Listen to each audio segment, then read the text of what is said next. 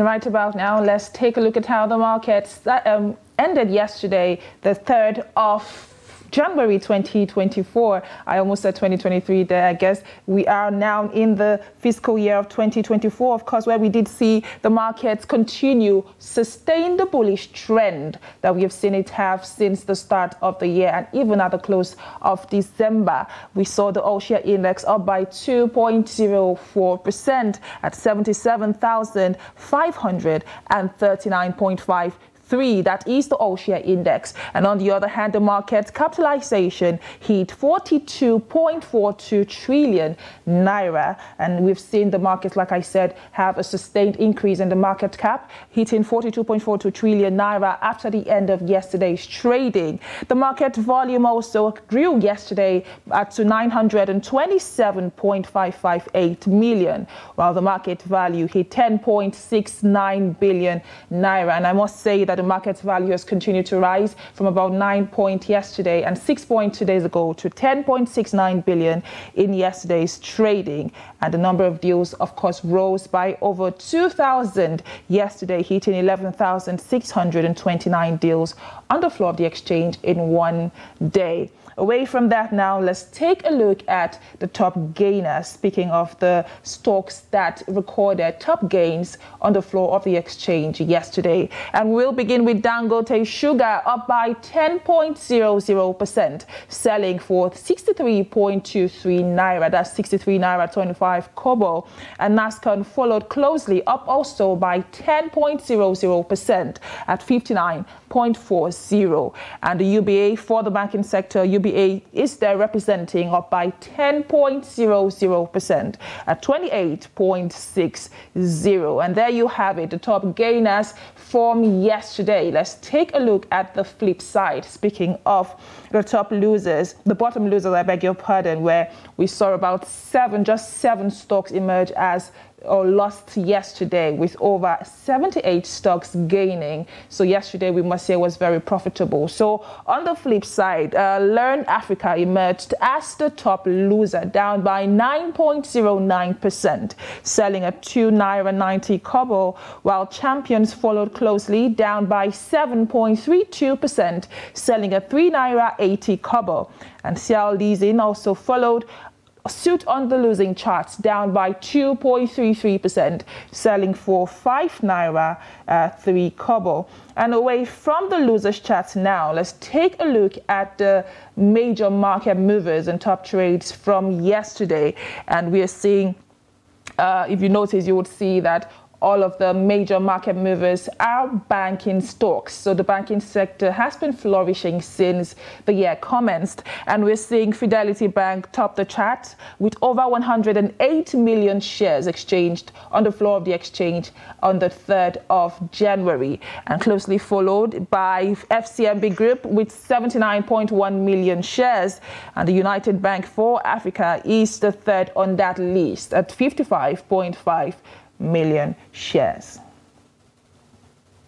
And now to the sectoral performance, taking a look at major sectors and just how well they performed yesterday. Let's start off with the banking sector, topping that uh, the, the banking sector on the chart. Like I said, yes, I said earlier, we saw uh, the, the, the, the banking stocks emerge as top gainers and top movers yesterday. And we can see that the banking sector was up by 6.66%. That's some tremendous growth recorded in just one day. And the, the NGX industrial sector was also up by 0.31%. The NGX consumer goods also ended in the bull bullish trend uh, by, uh, by 2.42%.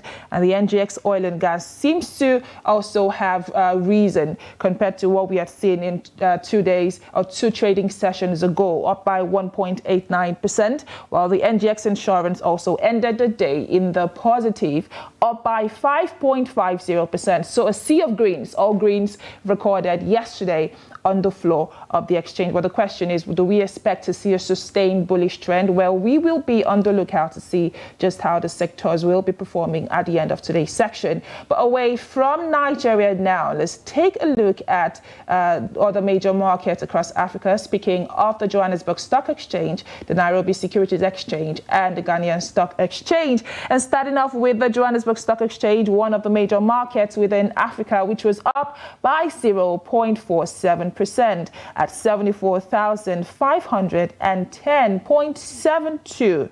And that is, uh, that is it for the Johannesburg Stock Exchange. And for Ghana Stock Exchange, also ending in the bullish, in the positive, up uh, by 0.00%. The Ghanaian Stock Exchange has retained that position for quite a long time now at 3,130.23. And for the Nairobi Stock Exchange, a pretty small uh, market in the eastern part of Africa, however, has done tremendously well. It's up by 0.2% at 92.11 uh, for yesterday. Again, a sea of greens. Uh, we are seeing that's not just, not just happening within the southeast and west Africa, but that is also playing out in the northern region of Africa. Well, at this point, uh, there you have it for the stock market review. But we will go on a short break, and when we return, we will begin our, co our conversation proper. And I do expect for financial analyst Stephen Nwachukwu to join us on the program, and we'll be taking a look at the outlook for Nigeria's uh, stock market, that is the NGX, taking a look at just what to expect in the first quarter, at least for the, the stock market and the entire fiscal year of 2024. So do stay tuned.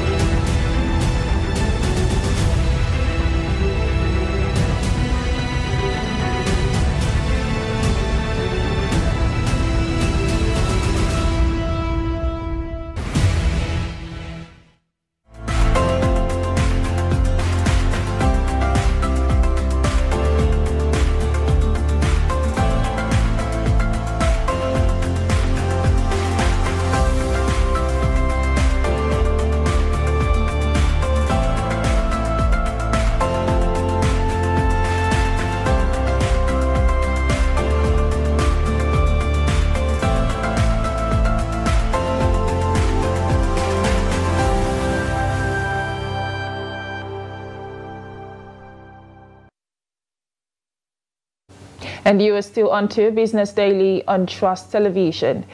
And the Nigeria stock market, that is the NGX, had a good run in the year 2023. We saw the All-Share Index finally surpassing the 70,000 mark that he had, you know, gone around for a while and eventually surpassed that mark. And we also did see it end in the bullish trend and start the year 2024 in the bullish trend as well. But how sustainable is this and what should we expect from the NGX, at least for the first quarter of the year and in the long run, the entire 2024?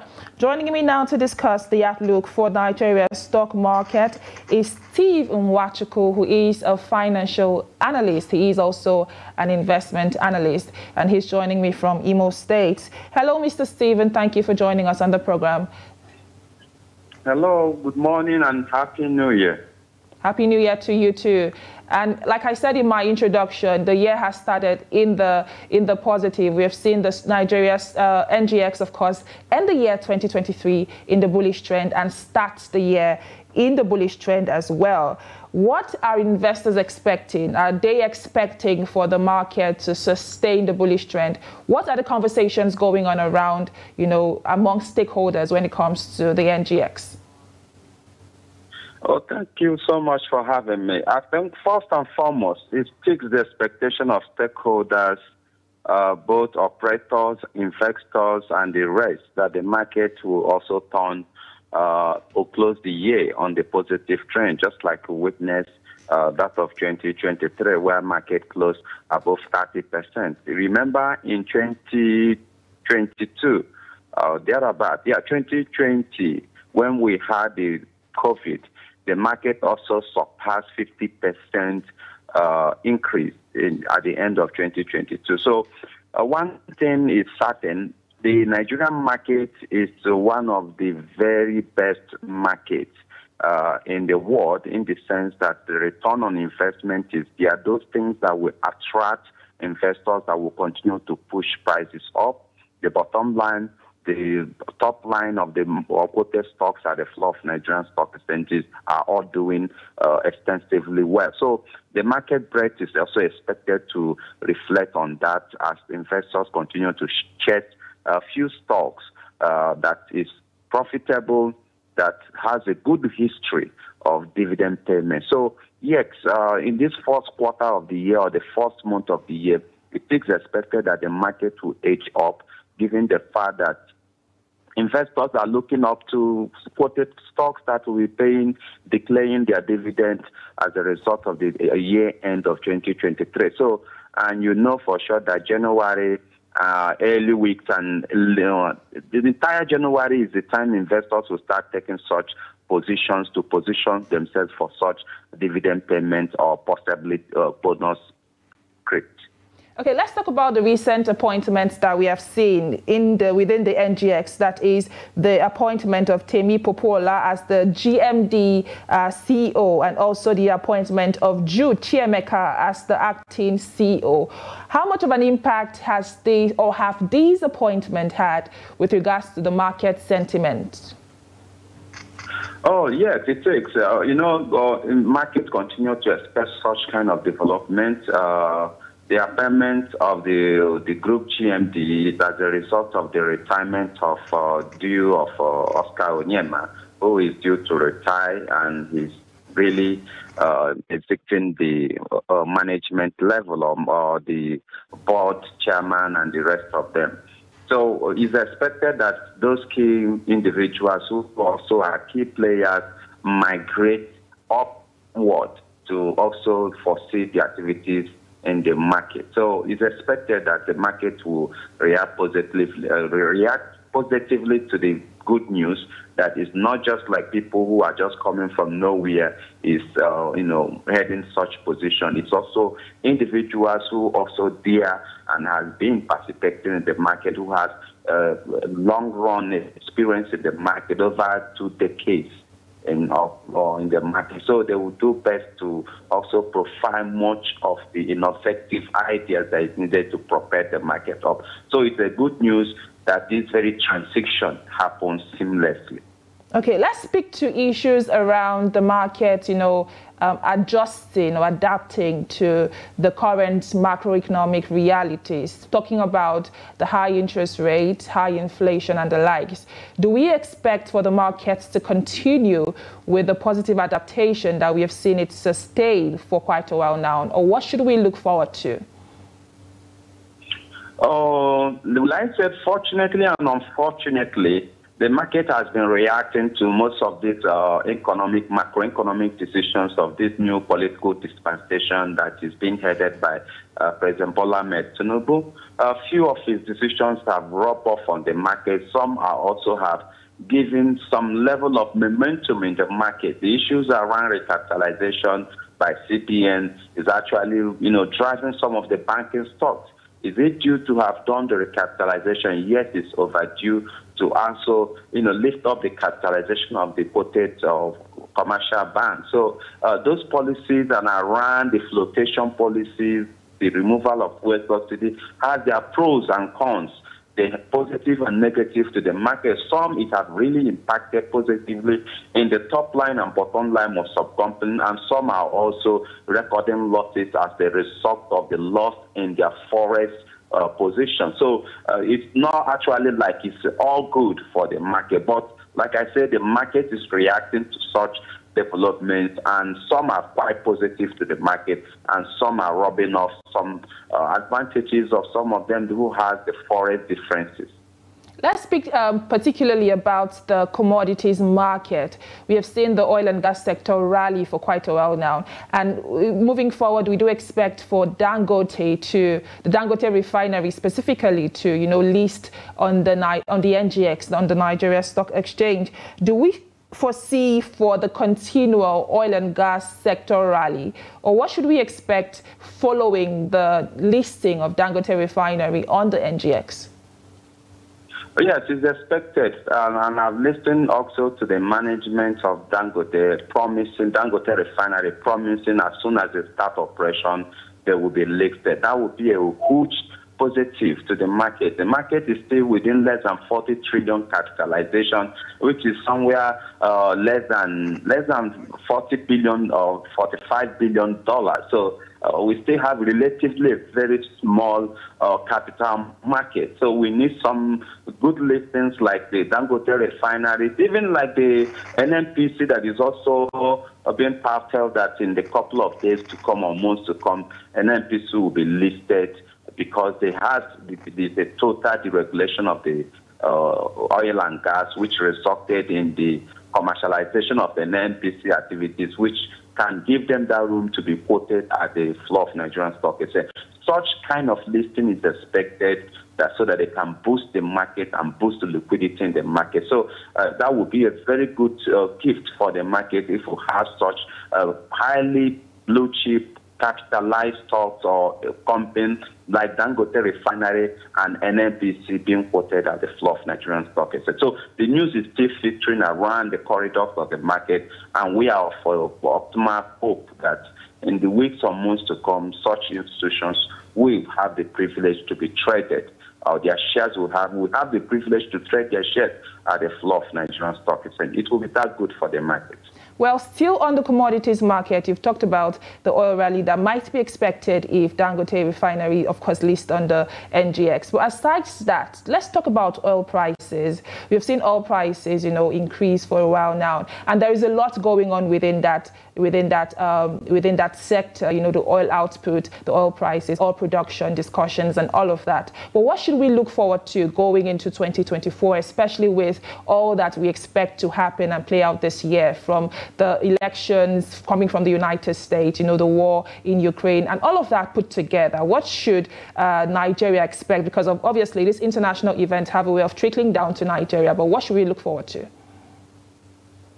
Yes, uh, most of the macroeconomic issues around and even in the around the globe has a one way or the other to that will reflect in our market. Also have one way or the other to affect the economy of just like you talked about the election in the U.S., uh, the rising inflation rate, even the global oil market prices, and a couple other issues that has one way or the other will rub off on Nigerian economy. Take, for instance, the issue of the international selling price of crude oil as a way of also boosting the price continues to rally around somewhere around or above a hundred a hundred dollar per barrel, that would be huge positive for Nigeria because we'll be having a lot of revenues to meet the budget expectations or the budget line items. Then, if it's also forced, that would be a lot of uh, burden on Nigeria or the government to implement the 2024 budget. So uh, it has its pros and cons too. Just like you talked about the election, the U.S. reserve even rates and the rest of them, and they're increasingly, you know, reducing it, and that's a positive for us because once they continue to reduce or their inflation rate continues to drop, like we saw the last figure from the British or from the Britain, it's somewhere less than uh, five uh, percent or thereabouts. So if such inflation continues to drop, it means that capitals are flowing out of such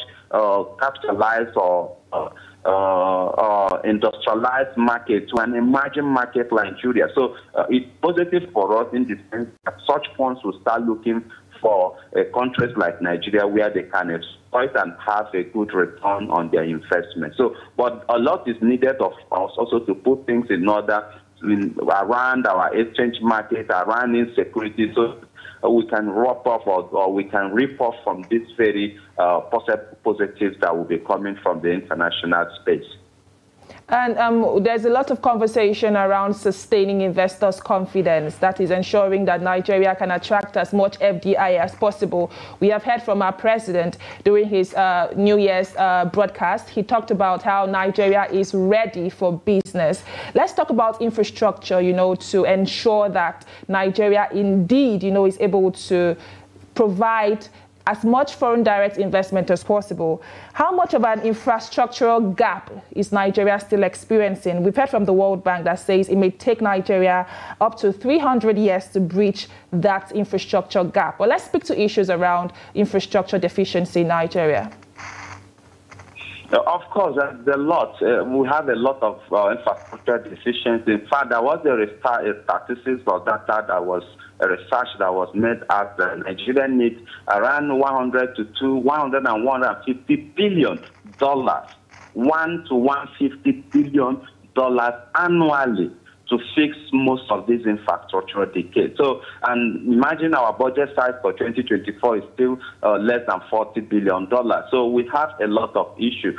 And when we put our house in order, that's why we can canvass for good leadership, for some level of security. Once you have some level of security, it gives investors opportunities, the confidence, and that's very trust also to invest in most of these critical national infrastructure. So that's why we continue to call on the government that they should have this posture that could attract these foreign investors that will fix most of these infrastructural decays around our airport, around our roads, some incentives or even bilaterals that could also fix some of these infrastructures in telecommunications, name it, all around sectors of the Nigerian economy. So we need huge investment, and these investments cannot come within. It can only come from outside because we are talking about billions, hundreds of billions of dollars investment that is needed to be popping, even in our health sector.